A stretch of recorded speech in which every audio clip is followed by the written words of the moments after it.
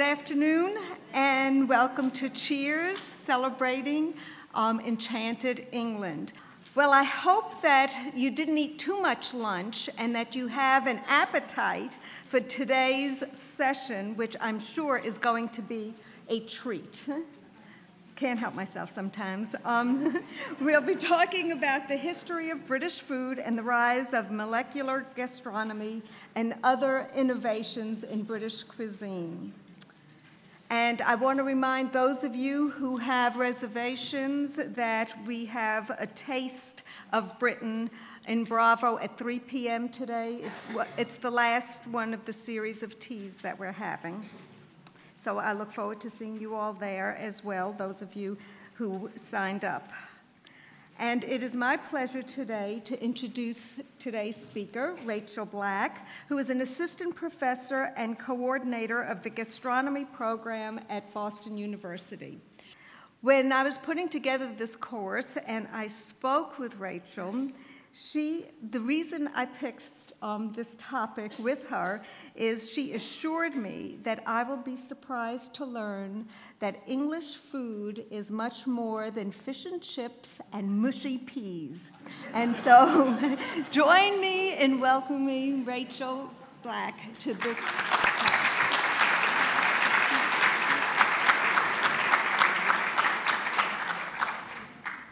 Thank you for that lovely introduction, Lois.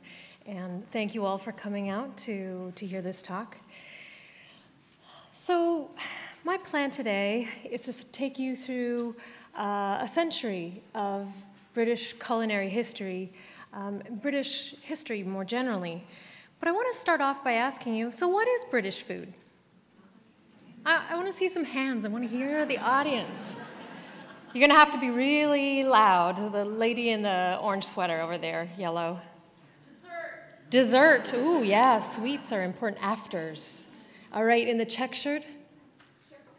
Shepherd's pie, definitely. That's lovely regional peasant food in many ways in its origin. Yes? Toad in the hole. Toad in the hole. And I even have a slide for that. Phew! All right, uh, red hair curly. Dover sole. Dover sole. Oh, great. These are great examples. So you already have some ideas about what British food is. Um, but I want to stop for a second and think about what is British food if we take it down to this academic layer. Don't worry, I won't scare you off here. So it's not one thing, but it's many things, and that's already what you're telling me. Um, it is uh, determined by social class. And I think that's important to think about, and I'm going to try to, to bring that out in my talk that there isn't one British food, there are many, and it really depends on where you stand on the economic, economic ladder. Um, and we'll look at how social class and culture are related and how that's expressed through food. Um, and it's regional, and you're already saying that to me Dover sole, um, and all these dishes that come from specific areas. We're talking about a very large country. Um, it's ethnically influenced. We have to remember that um, Britain was a great empire, and there's a lot of post colonial immigration. We have people coming um, from all over the world to, to live in Great Britain, and that's very much influence what can be considered British food. Um, and it's shaped by technology and science. And don't let that scare you, because that is really a fun part. This is, um, I'm going to talk about different stoves and refrigeration and microwaves. Those are all elements, technology, that have shaped food. Also, you know, how food is engineered and food science. Um, and then I'm very interested in this question of an invented national cuisine. I think it's important that we think of what have been the different influences in creating a unified uh, British cuisine. Why is that important? Um, nation building, we say, is very much a, a 19th century project we see all throughout Europe and also in Britain. Um, and uh, there's a, a, a, very interesting book about this by two historians, Hobsbawm and Ranger, called Invented Traditions. One of their examples is actually how tartan is invented in 18th and 19th century Scotland. Uh, but we can apply many of these ideas about invention to cuisine as well.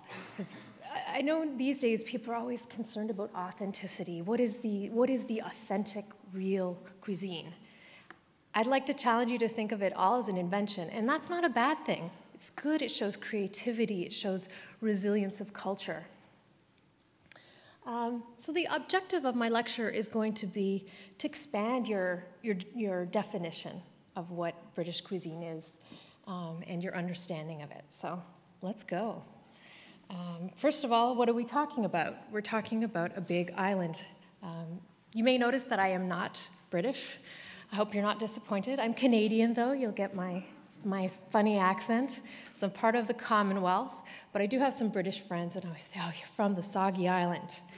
Um, they, they see it as endearing now, but um, I think it's important that we think about the different climate zones too, that it's very wet and cold for much of the year up in Scotland, especially places like the Hebrides or the Shetland Islands, uh, much warmer in the south. And this has a big impact on the culinary traditions that arise out of these areas. Um, and then also we are talking about an island, so that has a lot of implications for how does food get to Britain? Where does it come from? Does Britain produce enough food for its people? In the 20th century, it did not, and this was a really big issue at certain moments. All right. So this is going to be a social cultural history of Britain, but seen through the lens of food. So how do historians go about constructing uh, a history of food or a social cultural history using food as a lens? Want to talk about a few of the sources that we commonly use. And also, I would like to encourage you, um, if any of you are history buffs, if you have history degrees, there's so much work that needs to be done, and we have so many wonderful resources. So I hope I can inspire you maybe to, to delve into um, writing some history and doing some research. So cookbooks and recipes are excellent source, um, and I'm going to draw upon those uh, a great deal in my talk. Um, I also want to point out that we are very fortunate here in Boston to have the Schlesinger Library over at um, Radcliffe, which is part of Harvard. Um, and they have a wonderful collection of cookbooks. We are really lucky that someone was really forward thinking in preserving the, these pieces of history. Um, so I would encourage you, if you are interested in this topic, to take a trip over to the Schlesinger um, to see what, what they have in their collection. Lots of great English cookbooks, a few of them I'll talk about today. Material culture. This is a great, a great source for historians, for anthropologists as well. So everything from cutlery, pots and pans, kitchen equipment. You see I've got some images of stoves over here. And I'm going to talk quite a bit about um, material culture and what it can tell us. We're here in a museum. We think of it as a house of, of high culture. But here I see around me also in this museum quite a, quite a bit of material culture, so buffets and antique furniture, um, a lot of objects that may be ritual, used for ritual, but also um, could have everyday uses and are derived from that. So, memoirs and diaries, these can be a little bit harder to get at, but also, again, Schlesinger has a lovely um, collection of personal papers and diaries. They do have Elizabeth David's collection over there, um, in, in, addition to Julia Child's, which you might be a little more familiar with. Um, but so I'm going to talk a bit about Elizabeth David today. So if, if you are interested, you can go and consult those, those archives over there. Cooking shows. This is something we're really um, bombarded with these days, but I want to show how a lot of our concerns about food and also the communication, the media we use to talk about food, has been around for some time and has also influenced um, how British cuisine has been divine, defined. And then secondary, secondary horse, uh, horses, hmm, no, secondary sources help us to uh, contextualize uh, what we find in our primary documents and other primary sources. And I've uh, provided you with a little handout with a few um, items that you might be interested in uh, that give you um, an overall view of British culinary history, a few of the more recent works as well. And also, there's some wonderful digital archives. You don't even have to go over to Cambridge. You can just get online and consult a lot of the cookbooks I'll be talking about. Um, so, we live in a wonderful age for being a historian because of technology. I know that sounds like a contradiction of terms, but it's not. So, I guess it'll be the long 20th century because I, I, need to talk about this lady uh, and well, more uh, about the time in which she lived, um, Queen Victoria, the Victorian era, and the Age of Empire. As you can see, Queen Victoria um, reigned for a great deal of the 19th century, right into the 20th century, uh, and was an important figure and her reign was known as a time of, of stability but change as well. Um, it was the height of the British Empire. And I want to talk a little bit about the idea of empire and how uh, British culture and culture from different colonies mixed to create um, new forms of cuisine. So, my first recipe, my first dish is kedgeree. How many people have heard of kedgeree before? Yes, because you've all been watching Downton Abbey. Very good. Excellent. Um, it's, a, it's a really interesting dish because uh, it was, some say, brought back um, to Britain by returning troops. There's also uh, some people who say it was invented by Scottish chefs and then it was taken to India, transformed, and brought back. But I think what's important here is these connections, is back and forth, that cuisine isn't stable and fixed in time. It adapts and changes. It picks up spices and flavors. It becomes something new, but also is attached to um, older traditions. So this was a dish, um, as you can see, it's made with smoked haddock, so something very much associated with Scottish cuisine. Uh, red chilies, I imagine that's an influence coming from India. Um, curry leaves, turmeric. Uh, some people just throw, you know, there's not one recipe for this as well. It's kind of, it's funny, recipes uh, are a modern invention, very much a thing of the 19th and 20th century because it used to be an oral tradition. Uh, and so this is just one example, but every chef, every cook would have their own. This is a very common dish. This is not high cuisine. Um, but this would have reminded people maybe who had served time in the military in India, uh, but it also became a very popular dish, particularly in Scotland. Um, and also, it's very efficient. This is a breakfast dish that converts leftovers from the day before. Um, and this is really important when we think about, you know, the beginning of the 20th century, people didn't have refrigerators. Maybe if you were really wealthy, you had an ice box um, or a cold room or cold cellar, but um, being able to um, not waste any food and use it up by um, using bits and pieces in a dish like this would have been very efficient. All right. So, also want to bring to your attention that um, the state of uh, British diet and health was very, very poor at the beginning of the 20th century. Um, this became apparent uh, during the Second Boer War when uh, conscripts were coming to volunteer to join the British Army uh, to go off to South Africa. Many, many, I think it was, I have some notes here, but I think it was something like, oh no, I have it up here. Nine out of 10 recruits were rejected as unfit, mainly based on, um, due to nutritional issues. Um, so this is important to think about. The average uh, Brit at the beginning of the 20th century had some very big dietary issues. And a lot of this had to, to do with living in cities. So a lot of smallpox, typhus, typhoid, dysentery, diphtheria, all these horrible things like tuberculo- tuberculosis and cholera, often associated with not having a um, healthy, clean, secure supply of food and water a lot of waterborne diseases like cholera, um, as well as um, you know, we are used to having beautiful milk just ready for us to drink, but milk was a huge cause of disease and infant mortality at the beginning of the 20th century. Um, and so we see at the beginning of the 20th century, the government starts, starts to take notice that this is a big problem because if you don't have a healthy army, you're not going to have a healthy, strong workforce uh, the base of your great nation is a little crumbly, and a lot of it's uh, related to food. And so you start to see um, government legislation also uh, protecting children, getting meals to children, um, and better milk to children. And you also see the development of nutrition as a science and something that the, the government uh, draws upon to try to understand how they can remedy uh, their diet and health issues at the beginning of the century. Okay enough doom and gloom. All right, still a little bit in the 19th century. I couldn't give this talk and not talk about Mrs. Beeton's book of household management. Um, it's something, it's just, it permeates right into the 20th century. So, what was, what was this book about? Who was this cookbook for?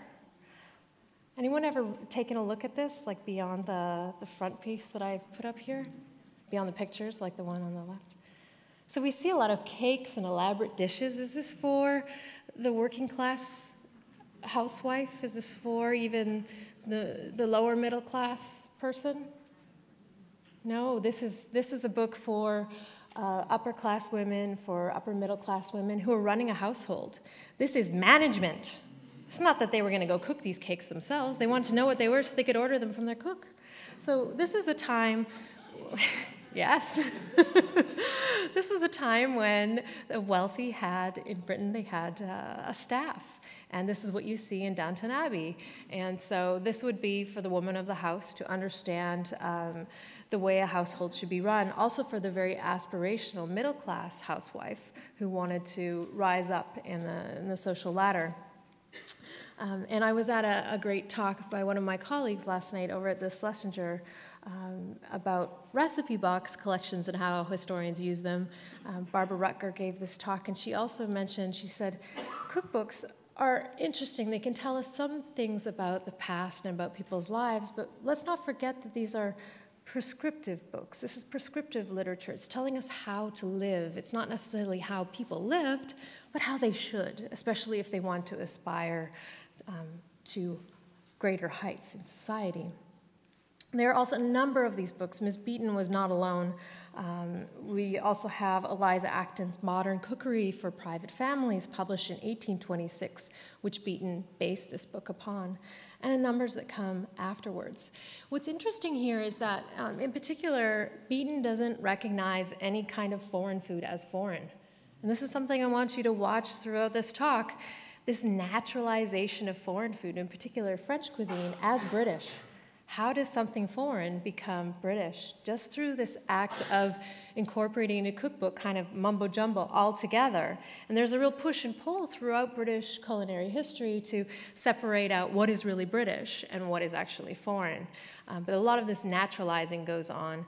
Um, Eliza Acton actually has a section on, interestingly, foreign and Jewish cookery. So a few authors do separate it out, but I think this is a. Um, I think we need more research here, so someone should think about this as a research project. Um, all right. Also, the first celebrity chef. So um, this is, well, I'm sure his name got changed to Alex, Alexis Soyer, but Alexis Soyer. He was a Frenchman, um, a chef who came to, to Britain, and he also wrote a cookbook. Uh, this one is 1858. But you notice here it's a shilling cookery for the people. So we also have cookbooks not just for upper class households and how to manage a house, but this concern that the British people already in the 19th century need to eat better. Um, and so a cookbook could remedy that. Um, so I think the role of cookbooks in defining a cuisine is important. It's not the only element, but um, it's something we'll, we'll think about through this talk. So let's move on, the Edwardian era, so really 1901 to 1910. And here, I know that you recently, was it last week, had a talk on fashion? And I'm sure you talked about, oh, a few weeks ago, um, you talked about this. And I think I put these ladies here because you saw Queen Elizabeth, of course, she's the queen, she's all done up, but the, the dress was much more elaborate in the Victorian era, whereas the Edwardian um, was much more, I want to say relaxed, but not quite as elaborate. And we can see the same thing in table settings, cutlery, furniture, architecture, and food. So all the other things you're learning in your other courses hold true also when we look at culinary culture, and you can see the connections between them. So this would be a Victorian um, table setting. I chose this because it's really elaborate um, and shows this would be of a very affluent family. Um, and like I said, you can see the reflections also in Victorian architecture, much more elaborate than Edwardian. If we look at, okay, I, I exaggerated here. This, this is a very simple, I think it's beautiful, um, example of Edwardian cutlery. Um, just to give you a sense that people were sort of changing, it was a changing, changing times and changing fashions, and people wanted things um, that had greater simplicity, and this was also reflected in table settings. Um, not as many courses as well in meals, not always using silver, uh, especially middle class homes, but using um, ceramic dishes so they didn't have to polish all that silver. Um, also, because these were slightly harder times and people didn't have in middle class homes maybe as much staff. Uh, a lot of middle class women were starting to have to cook for themselves. And so this change is reflected in the styles of, of service, um, table service as well, and tableware. But this is even more apparent after World War I. So, Edwardian upper class, rolling back a little bit, um, I've taken an image from Downton Abbey. You might, you're all familiar with these gorgeous dinner parties they seem to always be having. So much easier when you have a staff of what, how many people work there? Like 15? So uh, I just want to point out how important food is for social status. Um, and that these homes had cooks and servants, but also you've probably noticed in the show the dining etiquette, knowing which fork to use, knowing, um, you know, also the servants, which side to serve from. These things were definitely a show of your standing in life. These are things you er, learn early on that are part of your cultural capital, we say. Anthropologists love this term. Um, that really demonstrates where you belong in society. And this is so important in British society, even your accent says exactly where you went to school, who your parents were, what, from what social class you come from. There are many, many markers, um, but they definitely become apparent at the table, how you move about the table, knowing um, how to manage a situation and not just the conversation, how to handle the food and understanding what the food is. Um, restaurants were very fashionable um, during this period. Uh, there were lots of places to dine out, uh, elaborate restaurants. Uh, French cuisine was very popular. It was definitely a show of high culture to, to appreciate and understand French cuisine. And then tea time was important, especially for, for ladies. It was a time when you could get together and gossip, um, be with friends, relatives, visiting neighbors. Uh, but something brilliant about tea time, it's not, a pro- it's not a meal, it's not a proper meal. So the food you serve doesn't have to be as elaborate, it's a little more um, relaxed as far as social settings go. Uh, but tea shops were also uh, very popular, also with women. We know that also coffee is a, has been a popular beverage in, uh, in Britain for a long time. Coffee shops were more associated with men um, and political discussions and political talks in coffee shops. Um, and picnics were very popular. It was a, a, trend started by the Victorians, really, but these elaborate picnics, and I'm sure you've seen the picnic baskets with all the matching uh, flatware and, and china. Uh, this would be also another display, public display of status. And this is important as we head into uh, a greater culture of um, mass production where the middle class could start to replicate some of the social markers of the upper classes. Uh, like, for instance, in dress, lace used to always be a sign of, of status because it was so expensive it had to be made by hand. But with the mechanization of, of uh, of fabric production, uh, that, that's not a very technical term, uh, more and more people started wearing lace. Well, same with uh, China. Uh, you could get uh, mass produced china that would replicate that of, of very fine bone china, which was handmade. So, all these, these indicators, the, these markers of social class were breaking down. Um, and this was particularly evident in, in the, the public sphere even for the upper classes, always had to keep ahead of everyone else and be more and more ostentatious. And we can see the, the class differences. This is the downstairs um, at Downton Abbey, and you just see in the way that they're eating, they don't have elaborate place settings. They're, um, it's very simple. You, they're always on duty, so very, very different setting. I just wanted to show that as a contrast, that um, it's quite distinct. All right. So I just wanted to point out, too, I thought this was really interesting when I discovered this that the, the Brits were um, the largest consumer of canned goods before, before World War I. Uh, they loved their canned goods.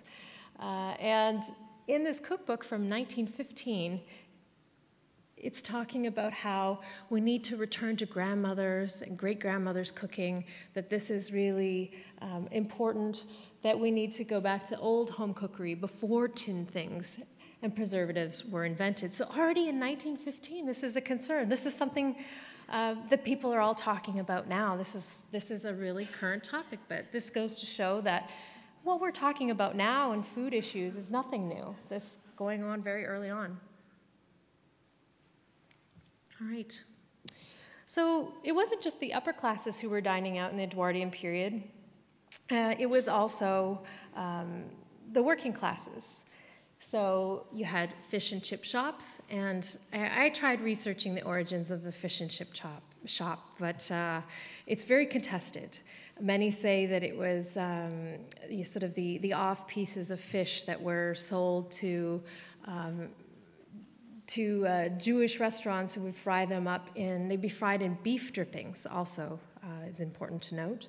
Um, but fish and chip was served in old newspapers, very popular with the working classes, very, very cheap food, and um, sort of recycled food in a way. Pie shops uh, were also another form, sort of fast takeout food that were popular with the working classes. So meat pies with mashed potatoes, and they'd be served with this liquor, which was like parsley mashed up with um, with malt vinegar uh, that was, which is, people still make it, fluorescent green. Um, and also jellied eels were very popular at these meat pie shops. Here you can see some, some ladies, working class ladies, taking out um, their fish and chips wrapped up in paper.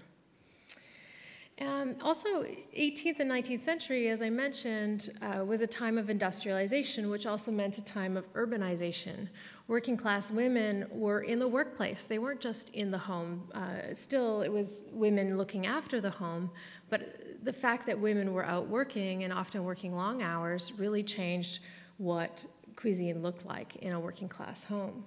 Um, middle and upper classes had more a separation of spheres, so men from women, but also public from private.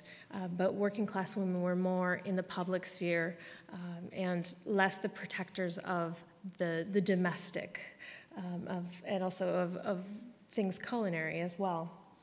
Um, and this is maybe one of the main reasons why tin food was so popular um, in Britain. And as I mentioned, largest consumers before World War I and after as well.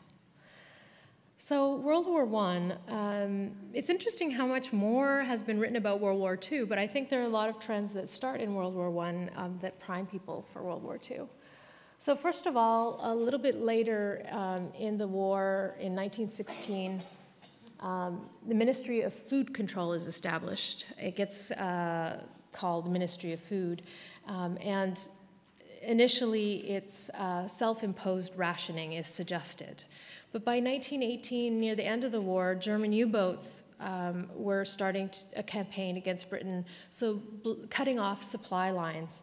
Uh, and it's important to remember that Britain was importing a lot of food from US and Canada, and these lines were absolutely cut off at this point. So that meant limited fat in cooking, so using drippings if you had any meat, so being careful about every little precious drop of cooking fat you had, saving the, the paper on um, pieces of butter or margarine, because you start to see a lot of substitutes in this period as well. Things like margarine, things like bird's custard, bovril, uh, bouillon, meat cubes, and um, it really starts to, to change the way people are cooking because it's a necessity. And you see, there are a lot of interesting recipes in this period for mock everything. There's mock crab, there's mock, uh, mock meat, which is usually made of lentils and then shaped into, uh, or mock, that was a mock sausage, put in a sausage casing. Um, and then also the importance of of supplying rations to soldiers at the front was critical here too. So everyone doing their part save two slices every day and defeat the U boat. So everyone doing their part to ration the food, make sure that, that soldiers had enough, and if everyone rationed, everyone would have enough was the idea. All right, so I mentioned earlier the, I think this is interesting, bird's custard powdered, not made with eggs, because that would be, you know, too luxurious. Creamy egg-like standard flavor. Okay you have to be pretty hungry. And I think people were. But what's interesting is that now bird's custard is a standard. Um, I don't know how many, I, I always use it when I make trifle, I know, and it's just sort of been a constant for me. I think people got a taste for a lot of these food substitutes um, during this period, and that carries through, and people hold, held on to these, they became traditions. Um, and here, I think this is an interesting advert. If you could see, this is the bowl at the recruiting tent. That's what it says up there on the left. You know, British Bowl, my place is at the front. I hear they want more Bovril. And this is British to the backbone. This was also really important during World War I, consuming British products. Britain had such a dependency on these imports, um, and then there was a necessity to consume British products and also British industrial products like Bovril. Oh, Bovril is a, it's a bouillon cube. It's like a boiled down meat, but in this case, you know, there was a lot of substitutes that went into that. But also, it was a way to use maybe offcuts of meat to transform it into something um, that was more acceptable to people or became acceptable. And that's a whole, there's a whole other research project. How do people go from making their own stock to making, to accepting bouillon cubes as a regular ingredient and then depending on them as a regular ingredient as well. So the interwar years, uh, you have 9 million men dead and women left to mourn them at home. Um, the Ministry of Food was dismantled in 1921, um, and there was still a focus on consuming domestic food because there was a huge trade deficit after World War I. Um, but still, things were looking up. Uh, food was cheaper, fresher than before the war. Um, I think because there was such a focus on, on the domestic production of food, which hadn't been there before, because of this dependency on imports, which really comes out of the age of empire, the fact that you have all these connections. And that's how the imperialist system and the mercantilist system worked, that Britain, Great Britain was the center, and all the colonies would be, would be um, bringing goods to, the, to Great Britain. So, um, interwar years, you see a lot of advances in technology, as I was mentioning earlier. So, um, this also helped to improve food hygiene, uh, which was a big issue. So, you have a decrease in disease. Uh, you also have a move from um, coal or wood fired stoves to gas and electric stoves. And that's what you see here. This is a very interesting advert. Well, it's not advert, it's actually a cookbook. Um, and this was very common that brands would, this rye temp, would put out their own cookbook. First of all, to promote their product, but also because people had to learn to use these new um, fangled uh, cookery tools, these new stoves and things. This was a big change. Um, and as Barbara was reminding me uh, in her talk last night, you know, recipes used to say uh, in a slow oven. What did that mean when you had to have, um, in this case, you have gas marks in Britain, whereas we use Fahrenheit here. So, what did it mean in, a, in an accurate gas mark? What did a slow oven mean?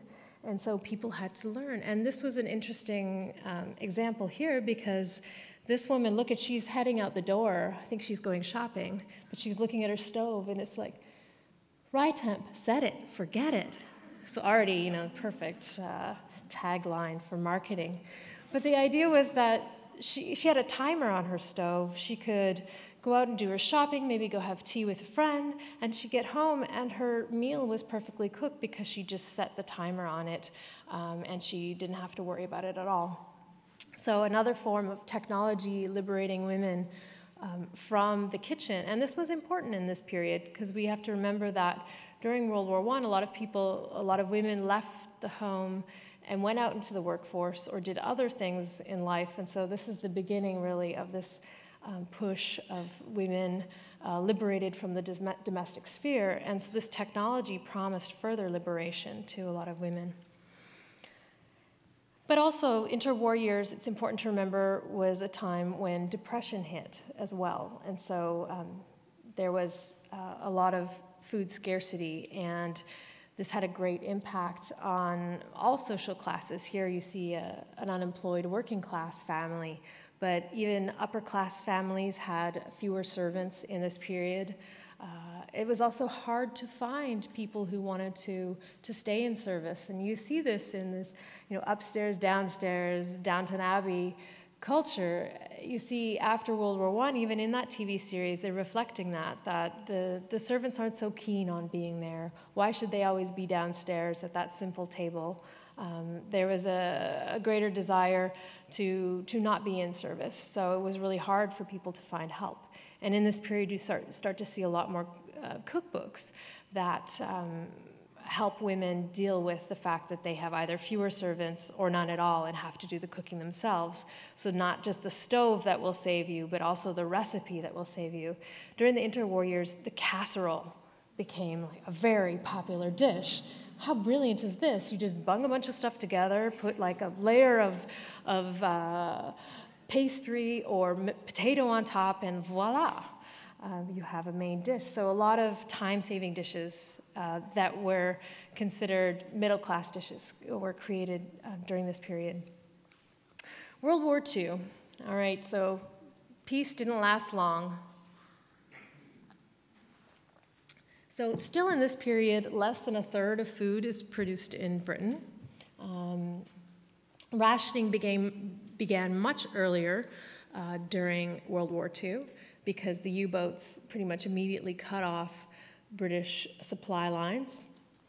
Um, and then I wanted to give you an idea of the typical rations um, for one person during the Second World War. So I keep looking at the screen because I have it so small on my screen, I can't see a thing. So this is how not to present. so you have one fresh egg, Four ounces of margarine, you notice margarine, a, a substitute. So we're still seeing like the, the trend coming out of World War One: substitutes, not butter, margarine. Bacon, about four rashers, so that would be strips of bacon um, that aren't like our bacon, but much more sort of meaty, less fatty. Um, but sometimes actually they'd have American bacon um, as a ration that, that would be um, provided by the United States. So they did have American bacon as well. So you do get some butter, but just two ounces. Butter was very precious. Um, tea, of course, because that's something I didn't mention, something that starts in the 19th century, that basically Britain lived on tea. Um, not because of tea and, and the taine itself keep everyone awake and working in the factory, but because of sugar. Tea is a vehicle for sugar. Um, if you're interested in the history of tea and, well, sugar more, um, more directly, uh, have a look at Sidney Mintz's wonderful book, Sweetness and Power, uh, a wonderful history of sugar and its political, cultural, um, economic importance, uh, really from the beginning of, of uh, colonialism right through to present day. So, sugar, so you have some cheese, uh, only one ounce, that's really nothing. It's like a one slice of cheese. Uh, eight ounces of sugar. Notice that's quite a bit because that's what kept everyone going. There would have been a riot, a complete revolution, uh, had there not been sugar.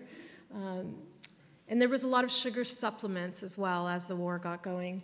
Uh, meat was uh, allocated by price, so cheaper cuts became very popular. Before, no one wanted any offal. They didn't want the lungs, the, the tripes, or any of these pieces. But during World War II, whole development of a, a cookery based on offal became very, very popular because uh, that's what people had access to.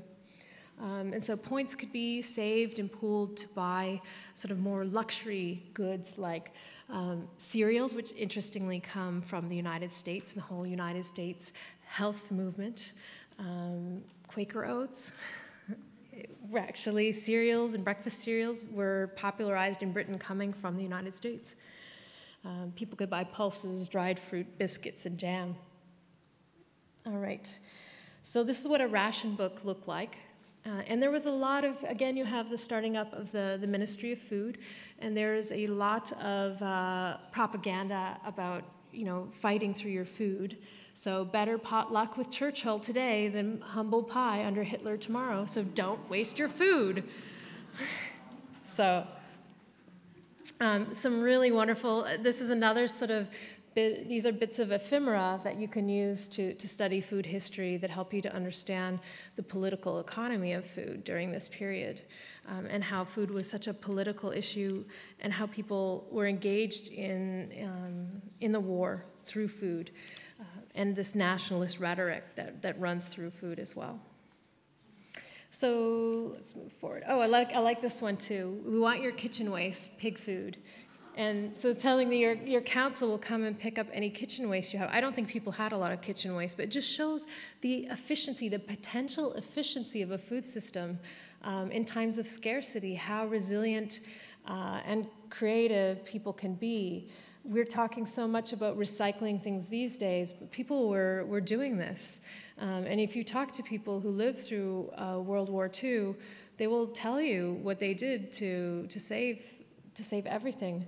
Uh, also, I've heard this in the Soviet era too, um, in Russia, that you know, people, someone was looking at a garbage dump in a film I was watching. They said, "Oh, we never had this in the Soviet era because we didn't have garbage. We reused everything. Things were wrapped in cloth. Things were wrapped in um, paper, and all those things were reused. Nothing was thrown out. And the same holds true for World War II Britain because the food shortages um, were incredible. Uh, the war could almost have been won um, because of food scarcity issues. Um, fortunately, people were very um, resilient and creative about how to make things last. Another um, uh, World War II era development were allotment gardens. This is very much like our victory gar gardens in the United States. We're very fortunate here in Boston to have the world's, uh, I think, well, the world's, the United States, the oldest victory garden that's still in active use here in Fenway Victory Gardens. If you haven't been there, go for a walk. Absolutely fascinating, wonderful place. But here, um, in the case of Britain, this started also in World War I, encouraging people to produce their own food, um, and really picked up in World War II. Here you have, a, again, another propaganda poster. You've probably seen a lot of the propaganda posters in the United States for Victory Gardens. They're just wonderful. Um, also for canning and preserving your own foods. And here's a, an image of an allotment garden um, to give you a sense of uh, the amount of food being produced, really quite a large garden. So any little bit of earth would have been, would have been uh, cultivated. Um, to give you an idea. So, also, people kept pigs and chickens and rabbits uh, for domestic meat. Um, food waste was cut down to a minimum. So, even when the, you know, there was some supply of goods, it was really difficult to de-ration because they would run out so quickly. The Minister of Food would say, everyone eat potatoes. And then everyone would eat potatoes. They make a poster and people are like, oh, this is great. And then they run out, and then it have to be something else. So it was really challenging and interesting to see that these are really the first attempts by the British government to start managing the food system and influence people's eating habits. And this is very powerful um, when we think about it. I want to share with you one of the recipes that was developed during World War II to um, make food more palatable, and this was a popular dish.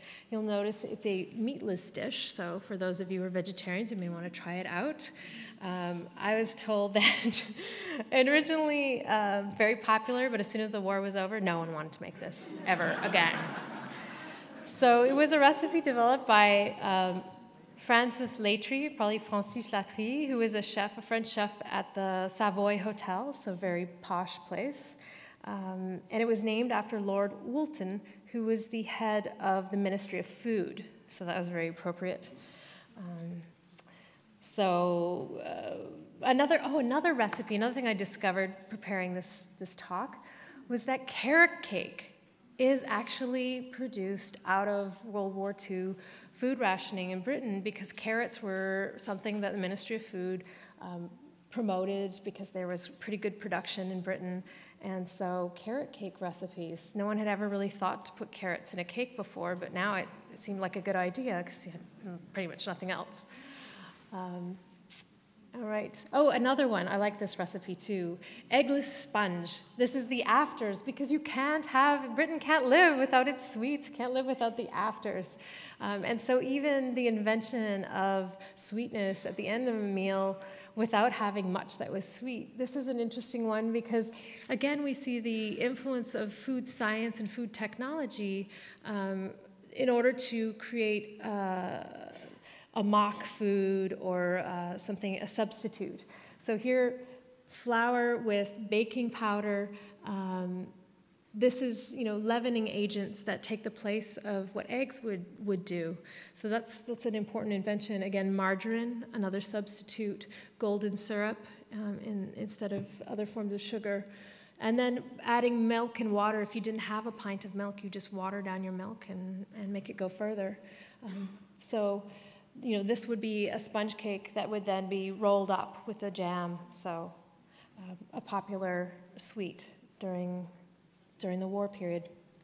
And then I thought this was fascinating too. The government was really trying to deal with hunger and this, this problem of scarcity. And so um, a number of restaurants were, were created by the Ministry of Food. They were really commercial feeding centers. They became known as British restaurants. So, again, this is a period of heightened nationalism. Britain is at war.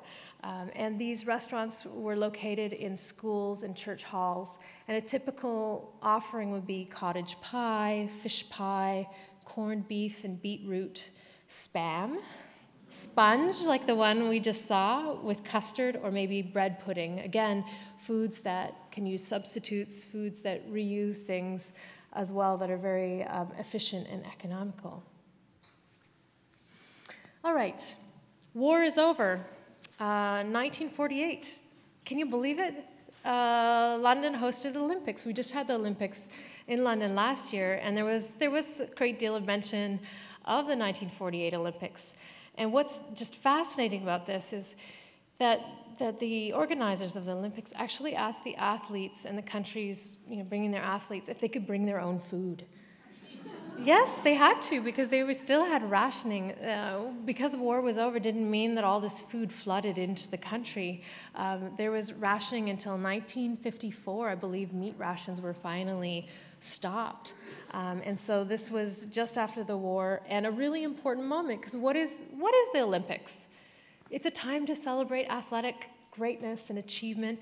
It's a time to root. It's a time to get out your flag and wave it and root for your country. So, very important um, event that happened right after the war that reasserted, helped reassert Britain's greatness. Um, but food definitely was an issue here. Um, then you have the Festival of Britain in 1951. Again, these world exhibitions and festivals um, were really important for the reassertion of Britain as a world power. Um, but also, this, this event in particular marked the beginning of recovery um, and the beginning of affluence in the 50s. So, as I mentioned, rationing ends in 1954. It wasn't so dire in, in this era, but in, in 51. Um, but this is the beginning of the end of rationing. All right, and so we can really see this in 1953. God, look at you, so beautiful. 1953, Queen Elizabeth II. Um, and so this was her coronation in 1953. And of course, you have to have a dish to celebrate, so coronation chicken. Has anyone ever had coronation chicken? I bet you have, and maybe you didn't even know it was called that. Only a few people. I kind of like it. A lot of people hate it. Uh, Because the British will put it in everything. They'll put a dollop on a salad. They'll put it in uh, tea sandwiches. You know, the nice sandwiches. Hopefully, we'll get after with the little crust cut off on the white bread. Uh, this is a very popular dish still today, but it's quite fascinating because, again, you have curry powder. Uh, and again, there's, um, this is the original recipe that I could dig up, but there are many, many variations. People put all kinds of stuff in coronation salad. Um, but you, it shows the times, again, a connection to empire in that taste of curry, trying to reassert the empire. Tomato puree, that's, a, that's an industrial product, a canned good. So again, a nod to the importance of, of preserved industrial foods. Um, red wine, I quite like that. I haven't really talked, to, I feel like I'm letting you down. I haven't talked about alcohol or wine at all. I will, I'll get there. but it's in this recipe. Um, and then bay leaves, lemon, apricot puree. So it's very exotic, these flavors that are coming together here, and mayonnaise and whipped cream. So there's the affluence. We are not rationing food anymore. We are celebrating this queen. Um, so I think this is a, an important recipe for giving us a sense of the, the times and one that people wanted to make. They wanted to celebrate their new queen. Um, all right, so the 1950s also meant, you know, more modernity in the kitchen. Look at that beautiful refrigerator. Uh, that was that was a real real special item. You know, in the 1950s, mo- most people still had uh, cold storage or maybe an ice box, but to have a refrigerator was a real sign of middle class affluence in particular. Um, and we start to see in the 1950s consumer society. We really see this in the United States in particular, but also in Britain um, as recovery from the war uh, moves on. Um, and we also see uh, the American influence in kitchens.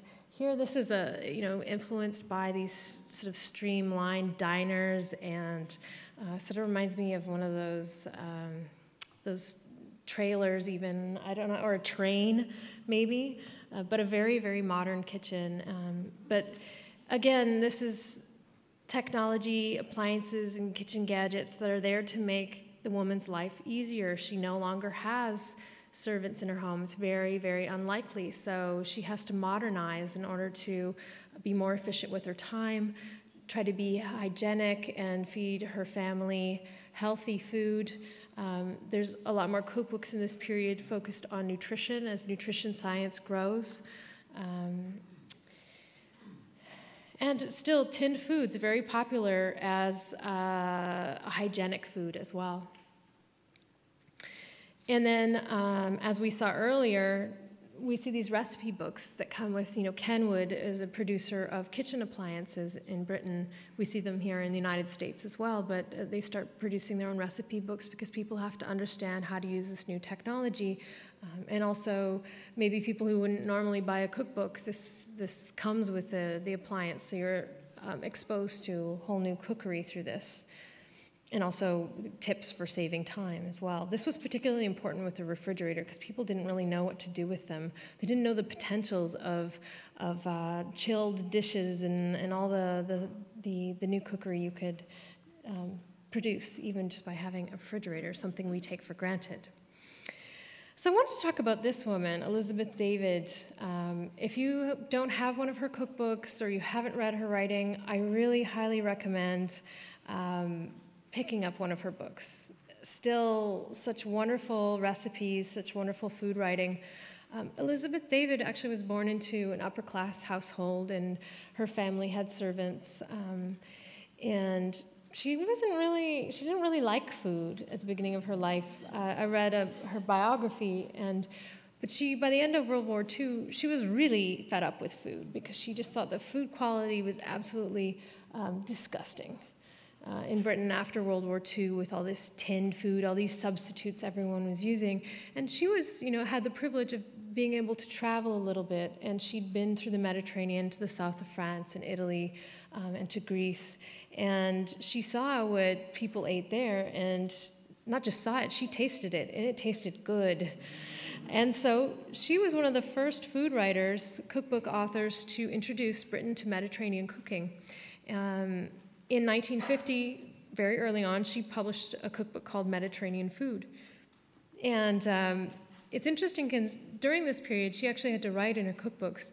She had to tell people what the ingredients were, first of all, um, people weren't used to using things like garlic, um, but in particular, olive oil. You really can't have Mediterranean cuisine without olive oil. But where were you going to get this in Britain? Well, you got it at the chemist.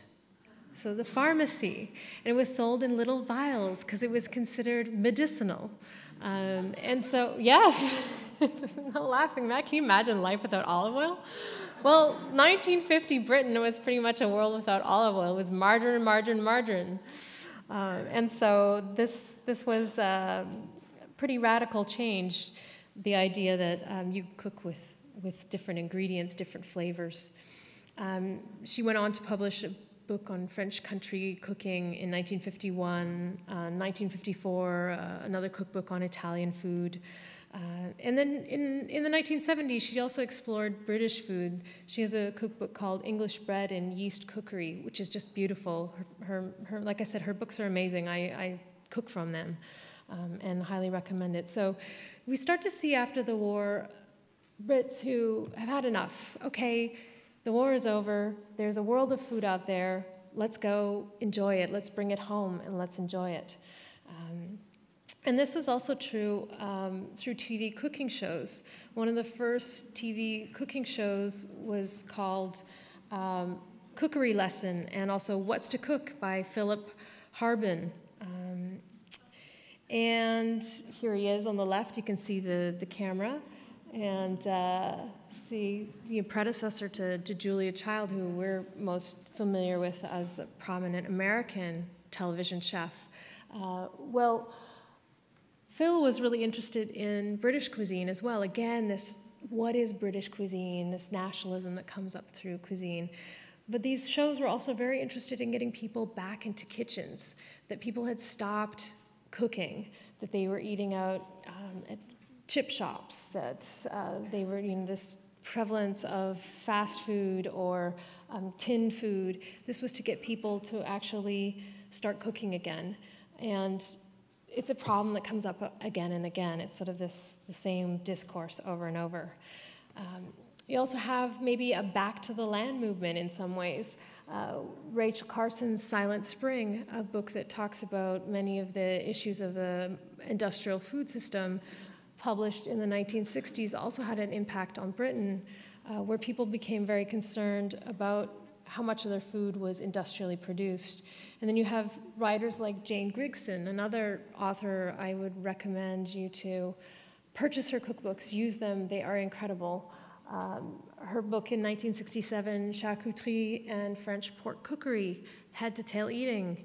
So remembering maybe a little bit of World War II and to not waste things, to use everything, every bit of the pig. Um, there was also a lot of reworking of classic British recipes and trying to undo French influences. So there was some embracing of the foreign, but also um, a digging deep for what was British food before all these substitutes. Um, I like this one. Getting back into the kitchen. It's sexy too. Action cookbook. so this is a good one from the, the, this is from the 60s we're in the 60s now the beatles the rolling stones it's you know, it's a time of liberation, really casting off the, the, the scarcity of, of the 1940s and 50s. And so this book also trying to get men into the kitchen. Uh, we had to really draw pictures. I guess men are visual learners, some of them, maybe. So that's, that's what this cookbook's about. Um, so still, you know, during this time, takeaway food is popular, um, and eating out becomes more and more reasonable. Uh, it's not as expensive, and more people are eating out. But also, dinner parties become popular again in this period, especially for the middle class, trying to show their affluence, um, to display their cultural capital as well. And food technology, that is an early microwave there. It is. So microwave ovens entered the home in the 60s, um, but really became common, I'd say, by the late 80s, early 90s in Britain. Um, and to go with your microwave, you obviously needed a freezer. Um, because the two go hand in hand. I think they're two food, they're two technologies that were uh, really grew up together. It's interesting to note in 1967, only 10% of British households had freezers.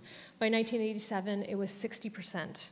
Um, and we see a whole line of cookbooks again coming from these uh, appliance producers teaching people how to use microwaves, teaching people how to deal with frozen foods. So, so we see this back and forth, this what is British food going back to the food of our grandmothers, but then we have this the food industry, we have technology that pushes us in the other direction, so it's push and pull. And then Delia Smith, She's still around. She was also one of the most popular uh, television chefs in the 1960s and 70s. And she, you know, in her cookbooks and her shows, she actually taught people how to boil an egg. Like that, that was necessary, tells us something about this period, that there'd been a de-skilling um, in the kitchen, that culinary knowledge was really at a very basic level and that people needed to be encouraged um, just to even cook basic foods at this point. And this is the kind of recipe, I got this off her website, Toad in the Hole. You, you, you nominated it earlier. Well, here it is. Um, and so this is, this is pretty standard British fare. And here's Delia Smith um, promoting it, bringing it forward. So um, I just put it up there for for fun. And I think part of, you know, a lot of traditional British dishes, maybe why people say, oh, British food doesn't taste good. It doesn't look very good. but it's tasty. I think that's quite tasty. Um, and I'll show you some more food that maybe doesn't look so good but tastes good. So maybe it's the aesthetic. Um, and we'll talk about other aesthetics that come in later in the 80s and 90s. Ah, so something that doesn't look very good either, but it's absolutely delicious. The English breakfast, I had to talk about, you know, the canon pieces of 20th century food. We, you know, beginning of this, this talk, I was showing you these picture of this mother and her child, and they had terrible nutrition, and, and people didn't have enough to eat in Britain. I think the English breakfast is an excellent sign of the affluence of this country, particularly in the 60s and 70s, where people could eat an English breakfast. Uh, you know, people don't eat this every day, but on weekends and when people have more time, this is definitely um, a staple, of, certainly for Sunday mornings or um, on the weekends. So here you have the beans, you've got the black pudding, you've got fried bread, sausage, rasher. Uh, this is very, you know, very upscale English breakfast. We have the, the tomato that's been, and I think the tomato being there is interesting. It's probably December. There's a tomato. So again, the industrial food system, making the seasons disappear. Here it is on our plate. Mushrooms and the fried egg the classic English breakfast, and a sign of abundance, affluence, and also that nutrition is improving in the country. Maybe too much. And we'll, we'll get there. Um, the Sunday roast as well. Look at look at these are the, all the icons. So meat and two veg, the Yorkshire puddings, uh, again, this is not something people eat every day, but this is a sign of family, of commensality, of being together at the table. A very important British symbol, I'd say. Uh, maybe one that uh, wavering a little, but still, when you put it up there, people think, oh, yes, Sunday roast. Um, it's a, somewhat of an institution throughout Britain. And how do these, I think another research project for someone, how do these institutions become institutions? Um, is it through uh, the industrial food system that meat is cheaper, that more people can afford to buy a joint, as they call it, um, to buy a big piece of meat and roast it on Sunday, that you have access to vegetables that are most likely frozen, but you have access to vegetables um, at every meal if you so choose. Um, so I think there's some important questions that are on this plate restaurants in the 1980s. So another movement you have is this is Nouvelle Cuisine. Uh, comes out of France. A man, chef named Paul Bocuse, was one of the big proponents of this, and he was really fighting against these heavy sauces and big, heavy dishes. So they end up having these really refined, very artistic dishes with a very dainty sauce on it. And here you see it um, in this image. Um, and the aesthetic has changed. This is not the big uh, Sunday roast. This is pretty much the opposite. And so in the 1980s, we have again the show of affluence. So we're in the era of Margaret Thatcher.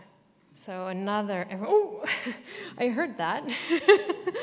it's all right. I think it's important to think about what that meant. This was a time of Britain reasserting its power after economic downturn again in the 1970s, Nouvelle Cuisine is a, is a display of this power that you can pay a lot of money and get not much food.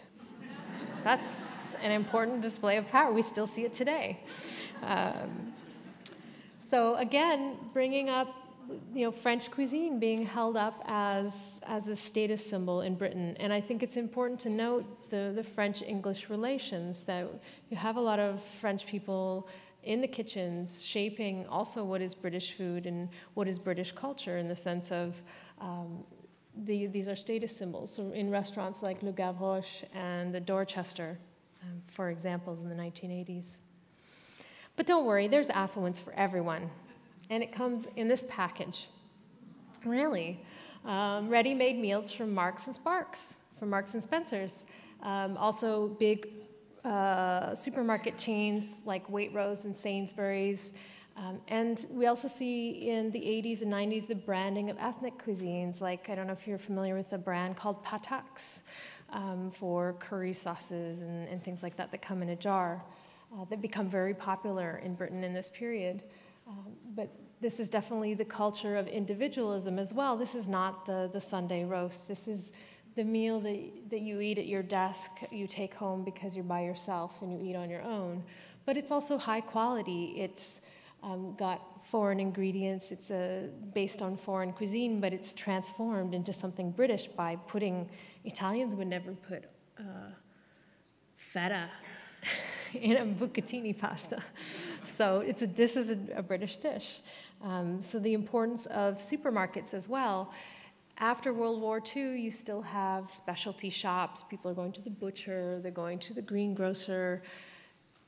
In the 70s, 80s, 90s, we start to see the dominance of the big chain supermarkets, Safeway, Waitrose's, Marks and Spencer's is upscale, um, Sainsbury's, these are the dominant forces in the British food system right now, and they set trends and fashions. They determine diet in many ways. A very important force. Another research project to look into that one.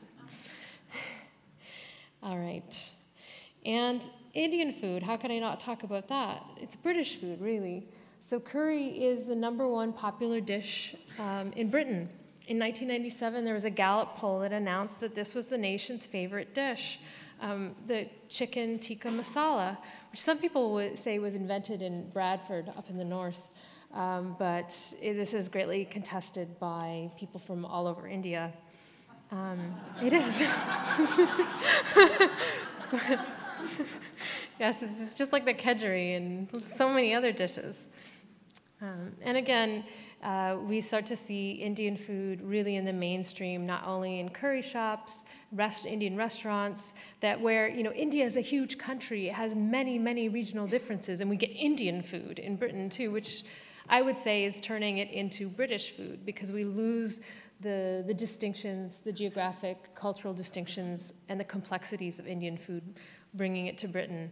Um, it's a bit like Chinese food all over the world, too. We have Chinese food, another huge country with tons of culinary cultures.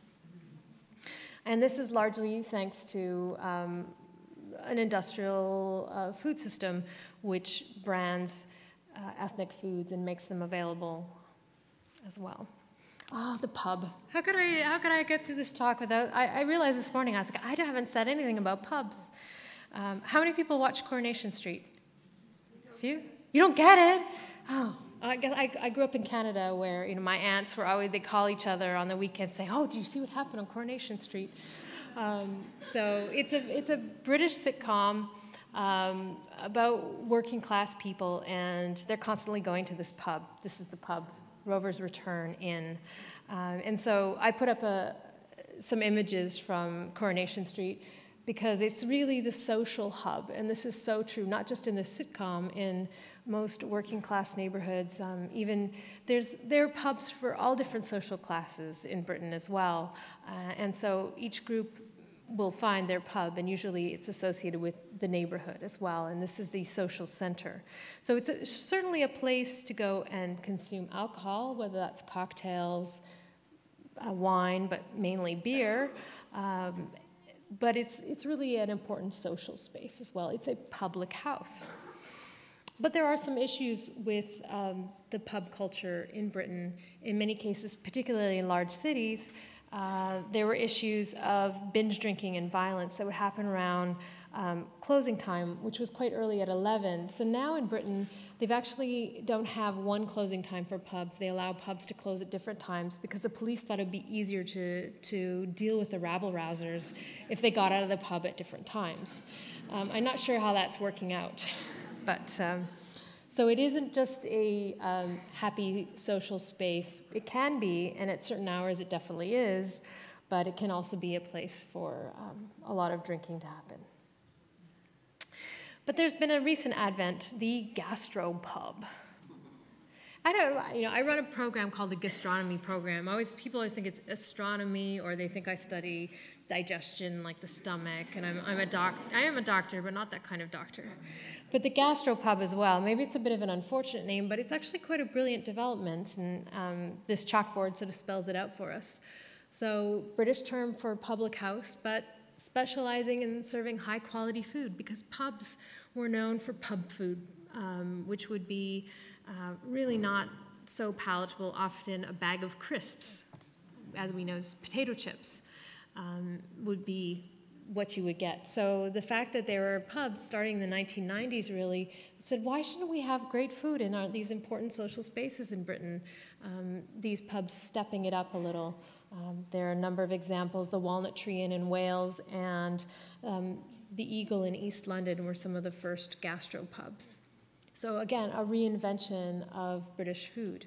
And often you get shepherd's pie, fish and chips, but done in a way that's, that's very thoughtful and very careful. But there have also been some food scares in Britain um, in the 1990s. And so we've seen salmonella outbreaks in 1988. Actually, the Minister of Health ended up resigning over this scandal. Um, probably the, the one that most of us have heard about is BSE outbreak in the 1990s and the banning of British beef from 96 to 06. And this was a huge economic problem for Britain, uh, also a grave health concern for the British people because of the prominence of beef in the diet um, in, in the second half of the 20th century.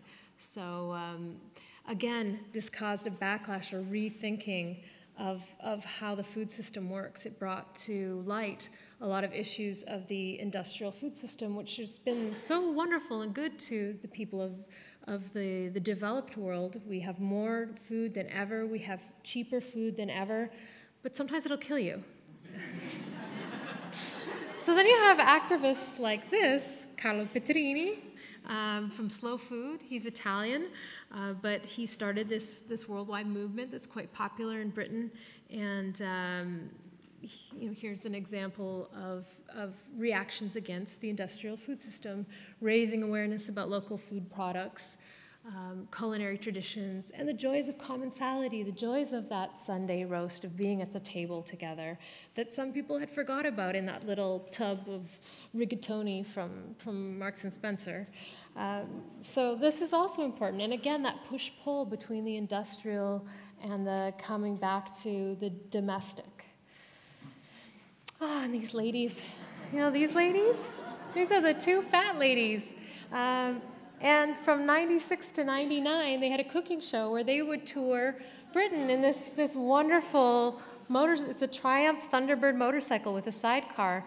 And they go around, some of you probably saw this show. Unfortunately, um, uh, one of the ladies, I believe was Jennifer Paterson, she passed away in 99, so they, they stopped the show.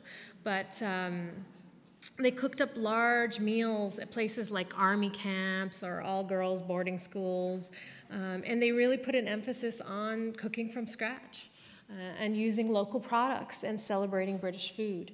Um, and so this is another example of maybe a more popular version of slow food because you're not going to go very far, fast on that motorcycle, I don't think. It's not with all those sausages. You might have some dogs trailing behind.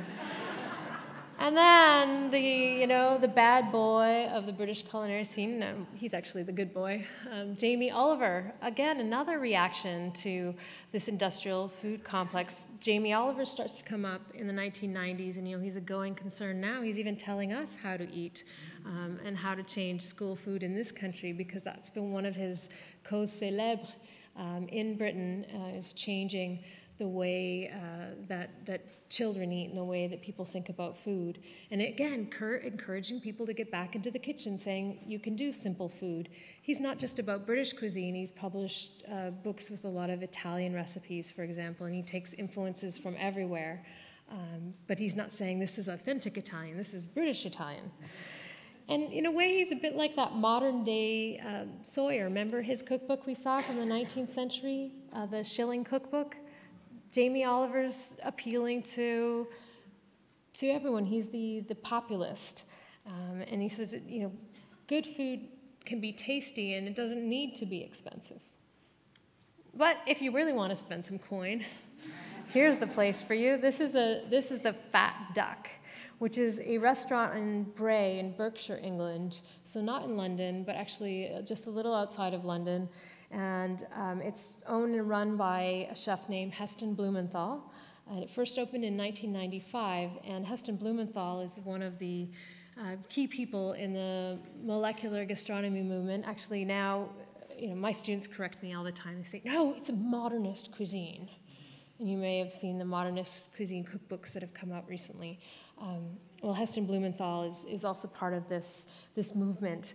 And molecular gastronomy really um, plays with our senses. It wants to engage all the senses in food. It wants us to rethink what's on the plate. Some people see it as disturbing um, and much more disturbing than bird's custard or Bovril beef cubes. Uh, but in some ways, it takes cues from uh, industrial food science, but also goes beyond. Generally, you know, this is highly manipulated food, um, but at the same time, it may use organic, fresh, local ingredients. So it plays on the texture and mouthfeel, so using a lot of gelatin. So agar agar is a common ingredient, for example. Um, and as you can see in this um, dish, uh, this is, I lost my notes. I think this one's called the sound of the ocean or sound of the sea. Sound of the sea is this dish. Um, and I'll explain it to you. But you can see here there's the foam. So we have a foam, and then you have little bits of seafood, little um, winkles and other crustaceans that are in there. So when this is served to a guest at, at Fat Duck, they're brought this conch shell here. And inside the conch shell is a little um, um, iPod with the sound of the ocean. So you put on, you put on the headphones, yes, engaging the senses, yes, setting the scene. And then this is brought to you. So you don't put the shell to your ear, you got headphones. And you see underneath there's a little spit of sand, so it's like the ocean. And the foam is like the, the waves crashing on the sand. And that seafood tastes like you just plucked it out of the water. Um, there are also a lot of other dishes that aren't quite as quaint as this one, but really, um, and you know, as uh, actually my husband was reminding me this morning, this isn't really anything that new that um, I don't know if any of you read the Futurist cookbook or know about the Futurist movement um, in Italy during the 1930s and 40s. The futurists were also really interested in how we can engage all our senses in thinking about food and at the table. So this is, is uh, we're seeing again a way in which to do that. All right, so to conclude, I just want to talk a little bit about what I came up with as a conclusion after doing this research. I know there's a lot of things that I've missed. I couldn't squish it all into an hour and 15 minutes or so, but um, there are main trends here. We've seen a lot of industrial food and technology, and in many ways, this is a very good thing. It's improved nutrition in Britain throughout the 20th century. Um, it's made food available to everyone, um, so really leveled the playing field in many ways. Um, but at the same time, it's a double edged sword because it's made a lot of people sick, like through BSE, um, through other food scares.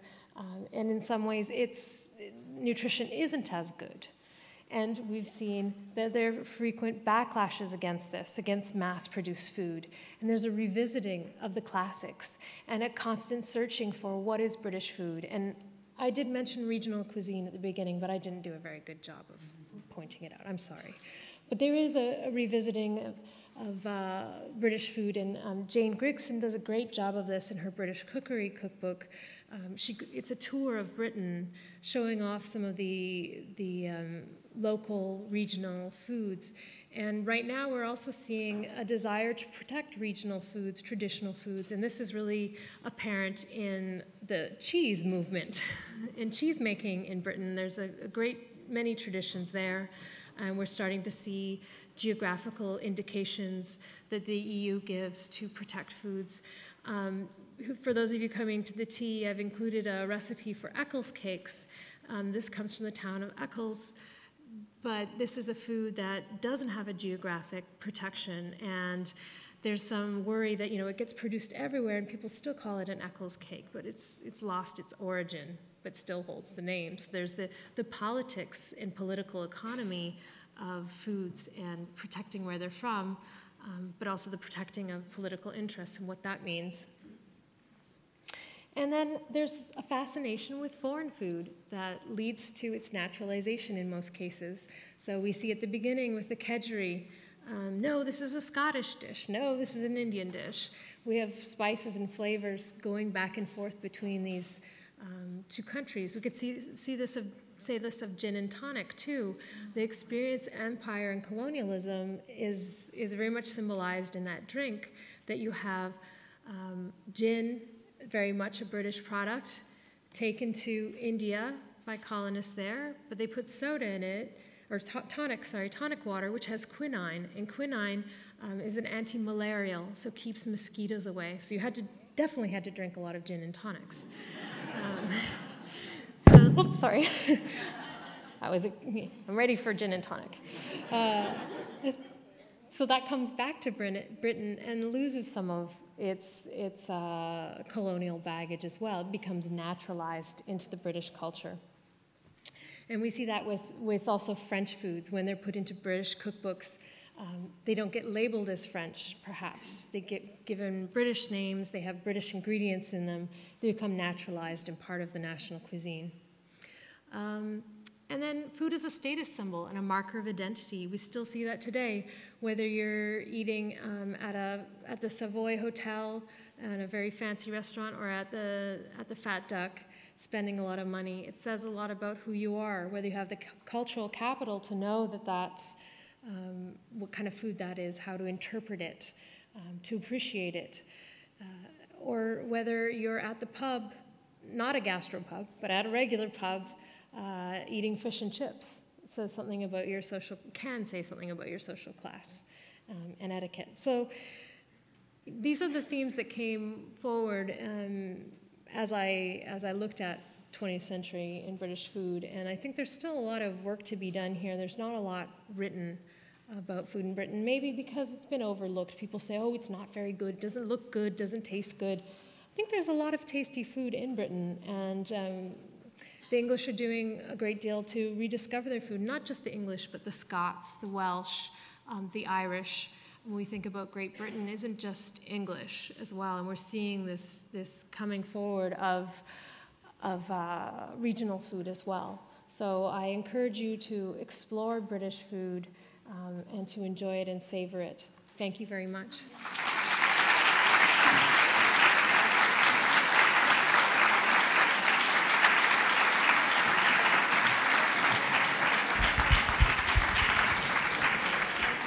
Okay, we have time for some questions.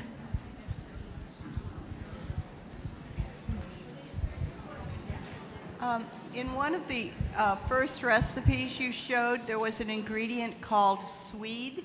Ah. What, what is that? So swede, okay. Swede is, um, it's a root vegetable. Uh, we could compare it, would you compare it to a sweet potato? Not a sweet potato. Sweet potato? Turnip? Yeah, turnip. But there, many people argue swede is something totally different. Swedes are often served with haggis um, for Robbie Burns' supper. Uh, rutabaga? Yeah. What was the name of the book that had to do with the history of sugar? The history of, sorry? Sugar. Oh, that's Sidney Mintz's Sweetness and Power. Wonderful book. Uh, another anthropologist turned historian.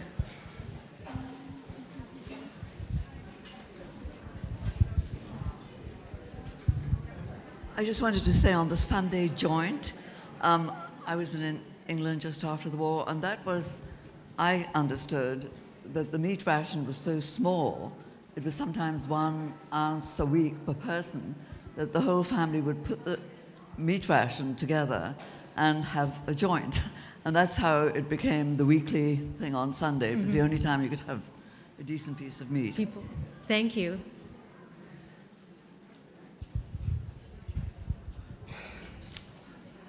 Looks like that's the last question. We'll see you in two weeks. Thank you. Have Thank a good you. Thanksgiving.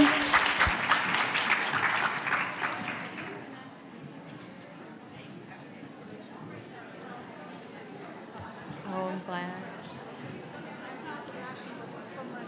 Oh, wow. Wonderful. You should, you should, you should do some research. There you go. You have sources.